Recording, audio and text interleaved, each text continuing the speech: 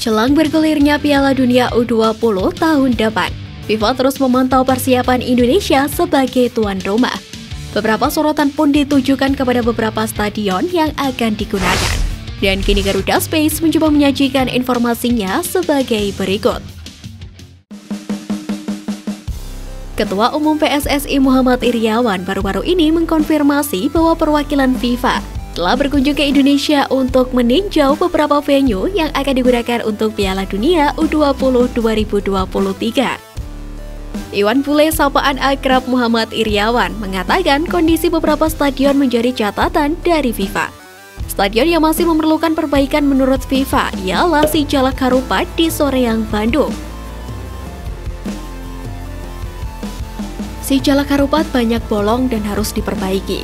Jakabaring sedikit, tentunya Bali juga ada sedikit. Manahan bagus sekali, SUGBK juga. Yang lain dalam kategori oke. Okay. Ucap Iwan Bule mengkonfirmasi. Sebagai informasi, enam stadion yang disiapkan untuk Piala Dunia U20 2023 adalah Stadion Utama Gelora Bung Karno Jakarta, Stadion Jakabaring Palembang, Stadion Sijalak Harupat Bandung, Stadion Manahan Solo, Stadion Gelora Bung Tomo Surabaya, dan Stadion Kapten Iwayan Dipta Gianyar Bali.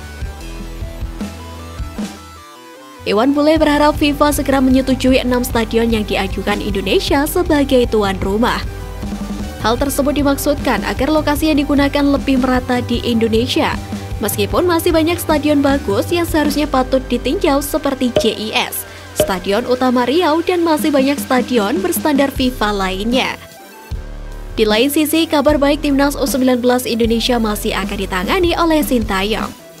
Meskipun dia ditetapkan lanjut berada di timnas senior, dengan segala rencana pengembangan pemain mudanya, Sintayong diharapkan mampu memberikan racikan terbaiknya untuk timnas U19 sehingga mampu bersaing dengan negara top di Piala Dunia U20 nantinya.